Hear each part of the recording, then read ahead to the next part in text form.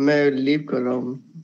Okay so okay students so we are discuss पिछले uh, हमने पिछले uh, अभी देखा अपनी अपनी लेक्चर में। कि मेथड्स um, किस तरह से किस मेथड से हमने डिस्प्ले करते हैं डायमेंशन जैसे अलाइनमेंट मेथड या फिर डायरेक्शनल मेथड दो तरह के मेथड हैं डायमेंशन डिस्कस करने के।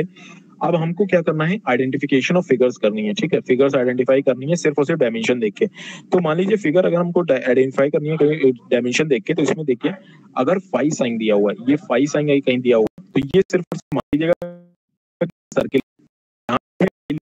में के आगे सिंबल के थर्टी ट्वेंटी या टेन लिखा जाए तो वो समझ कि वो डायमीटर बता रहा है किसी सर्कुलर सेक्शन का। डायमीटर बता रहा है किसी सर्कुलर क्रॉस सेक्शन का। अगर आर साइन मिल जाए, कहीं आर साइन मिल जाए तो कोई भी रेडियस या रेडियस होगी वहाँ पे रेडियस आर साइन यहाँ पे रेडियस आपकी हमेशा होगी आर्क की आर्क की। अगर वहाँ पे, अगर आर को आप बोल दो कि सर्किल है हाफ़ सर्किल तो सर्किल की आई फाइव में वहाँ दिखा। जो भाई आर साइन यहाँ भी निकला है, वहाँ रेडियस ऑफ़ आर्क है ठीक है? हाँ ये रेक्टेंगल समझ में आए ये रेक्टेंगुलर शेप जहाँ नज़र आया स्क्वायर शेप जहाँ नज़र आए तो वो स्क्वायर को रिप्रेजेंट करता है। स्क्वायर के बारे में, ठीक है? जहाँ एस आर लिखा हो एस आर लिखा हो तो वो जो है रेडियस बताता है स्पेरिकल शेप का। रेडियस ऑफ़ स्पेरिकल शेप बताता है, ठीक है? और जहाँ पे भी एस वाई नज़र आ रहा हो स्पाई जहाँ नज़र आ रहा हो, वो आपका डिस्प्ले कर रहा है किस चीज़ को? वो आपका डिस्प्ले कर रहा है स्पेरिकल डायमीटर को, ठीक है? वो एस आर आप जहाँ आर देख लो, वहाँ रेडियस समझ लो आर्क है। आर्क है रेडियस आर ठीक है? पाई जहाँ समझ लो, वो समझ लो स्पेरिकल डायमीटर डायमीटर है किसी स्क्वायर का, ठीक है? तो आप ये चीज़ को जो है समझ लीजिए, ठीक है? अब हम लोग ने ये सारी चीज़ें देख ली। अब हम लोग जो है, देखेंगे आगे चल के थोड़ा सा अरेंजमेंट क्या है डायमेंशन का। डायमेंशन का हमारा क्या अरेंजमेंट है? ठीक है? हमारा क्या है arrangement arrangement of dimension dimensions को हम किस तरह से अरेंज करें, ठीक?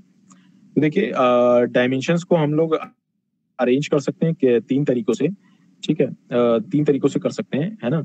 उसमें हम लोग चीज़ों को डिस्कस करते चले हैं। पहला वाला जो तो तरीका है, वो है सीरीज़ डायमेंशनिंग सीरीज़ में किसी चीज़ को डायमेंशन को जो है, अगर आपको रिप्रेजेंट करना है सीरीज़ डायमेंशनिंग सीरीज़ डायमेंशनिंग अगर सीरीज़ में अगर आपको डायमेंशन को रिप्रेजेंट करना है, ये कहाँ पे यूज़ होगा? Used used where use where potential use where potential accumulation potential accumulation of tolerance does not harm the basic requirements of the component. Where potential accumulation of tolerance tolerance potential accumulation of tolerance doesn't harm the basic requirement of current doesn't harm the doesn't harm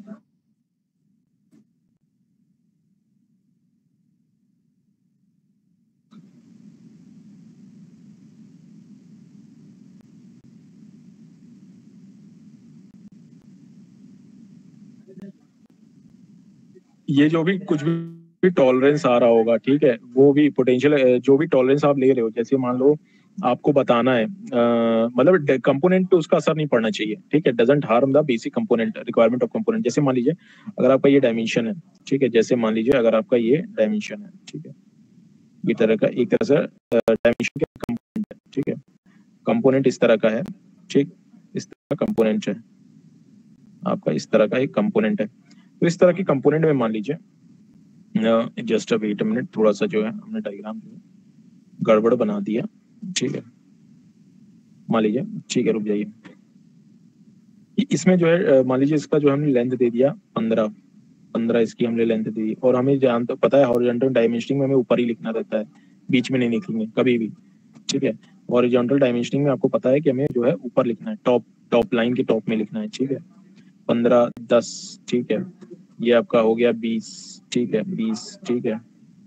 बीस, ठीक है? हो गया बीस, ठीक है? और ये है आपका जो है जो है आठ, ठीक है। फिर मान लीजिए ये आपका आ गया, ये भी कुछ हो गया ऐसे दस, ठीक है। दस। बीच में भी लिख सकते हैं, ऊपर भी लिख सकते हैं टॉप लाइट सेंटर किसी भी तरह ठीक है। मैंने किनारे से लिख दिया, ठीक है।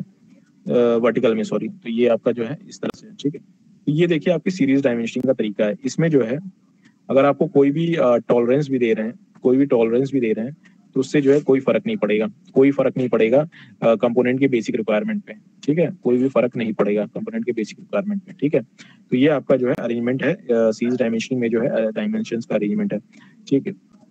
अब हम लोग जो है अगला तरीका देखने जा रहे हैं, अगला अगला तरीका। तो अगला तरीका जो है parallel dimensioning parallel dimensioning parallel dimensioning parallel dimensioning में देखिए क्या होता है। इसमें क्या होता है कि सारे कई सारे dimension lines several dimension lines dimension lines are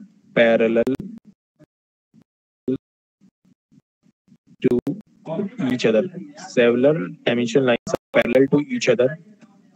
Each other, है ना? कई सारे डायमेंशन लाइन एक दूसरे के पैरेलल होते हैं, ठीक है? और सीरीज़ में क्या होते हैं? एक दूसरे के अगल बगल लिखे होंगे। देखो, यहाँ पे देखो, एक ऐसी बगल इस बगल इस बगल लिखा हुआ है ना, उसमें पैरेलल ही लिख दिया जाएगा, ठीक है? Several dimension lines are parallel to each other parallel to each other and exit and exit ठीक है? और ये कहाँ पे इस्तेमाल होता है? This method is use use where many dimensions many dimensions belong to same basic base ठीक है? समझ रहे हो ना भाई? तो ये आपकी पैरेलल डायमेंशन के बारे में चीज़ है, ठीक है? अब इसको जो है एक बार डायग्रामेटिकली आप डायग्रामेटिकली अगर आप इसको रिप्रेजेंट करना चाहें तो कुछ इस तरह से होगा। ये देखिए। ये हमने ये दिखाया है कि ये बहुत बड़ी चीज़ है, ठीक है? इसलिए इसको बीच में ऐसे ऐसे कर दिया जाता है इसे। स्केल को भी इसी तरह से बीच में से तोड़ के दिखा दिया जाता है। ये सिंबल इसी का इस्तेमाल होता है, ठीक है? तो ये आपका है, मान लीजिए। तो इसमें देखिए, इसमें अगर हमको अलग अलग चीज़ों की डायमेंशन निकालनी है, यहाँ से यहाँ से लेके यहाँ की लेंथ यहाँ से लेके यहाँ की लेंथ यहाँ से लेके यहाँ की लेंथ तो हमें इसको जो है पैरेलल डायमेंशन का इस्तेमाल करना पड़ेगा। देखो हॉरिजॉन्टल हॉरिजॉन्टल डायमेंशनिंग यहाँ लिखेंगे, और यहाँ पे जो है इसको हम पैरेलल डायमेंशनिंग करना है, यहाँ के ठीक है तो ये देखो 64 है ना, यहाँ पे एक दूसरे के डायमेंशन जो है पैरेलल है एक दूसरे के। ठीक है, देखो। 179 ठीक। फिर यहाँ से लेके यहाँ तक का 272 ठीक है, देख रहे हैं तो ये जो है, आपका पैरेलल डायमेंशन है। देख रहे हैं, एक डायमेंशन लाइन एक दूसरे एक दूसरे के पैरेलल है, ठीक है। तो ये हो गया आपका जो है पैरेलल डायमेंशन से रिलेटेड है ना? अब हम जो है इसको जो इसका जो तीसरा जो मेथड है, इसका जो तीसरा मेथड है, उसको लेके हम जो है करने जा रहे हैं। तीसरा मेथड जो है, जिसे हम कहते हैं कंपाउंड डायमेंशनिंग कंपाउंड डायमेंशनिंग मतलब आपका उसमें सीरीज़ पैरेलल दोनों ही चीज़ों का जो है इस्तेमाल होगा। ठीक है? देखते हैं। Compound dimensioning compound dimensioning compound dimensioning तो कंपाउंड डायमेंशनिंग में क्या है? ये क्या है? ये किस तरह की ड्राइंग है? पहले तो देखें, ये कॉम्प्लेक्स ड्राइंग है कॉम्प्लेक्स ड्राइंग है है ना?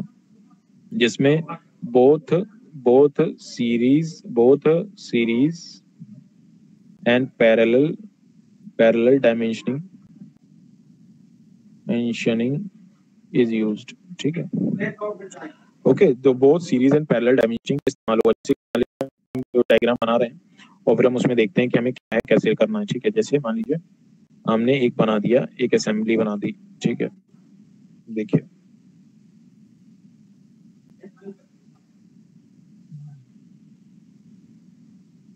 ये ऐसे तरह की चीज़ें हैं। इस तरह की चीज़ है ठीक है? और ये इस तरह की चीज़ है ठीक है? ये इस तरह की चीज़ है। ठीक है? तो इसमें देखिए डायमेंशंस का किस तरह से इस्तेमाल होगा। देखिए। डायमेंशन का इस्तेमाल इस तरह से। ओके देख रहे हैं? यहाँ पे ये पैरेलल डायमेंशनिंग लग गई। पैरेलल डायमेंशनिंग हो रही है। ठीक है? पैरेलल डायमेंशनिंग हो रही है। ठीक है? इस तरह से यहाँ तक पैरेलल डायमेंशनिंग पैरेलल डायमेंशनिंग ठीक है। ये इस तरह की parallel dimension okay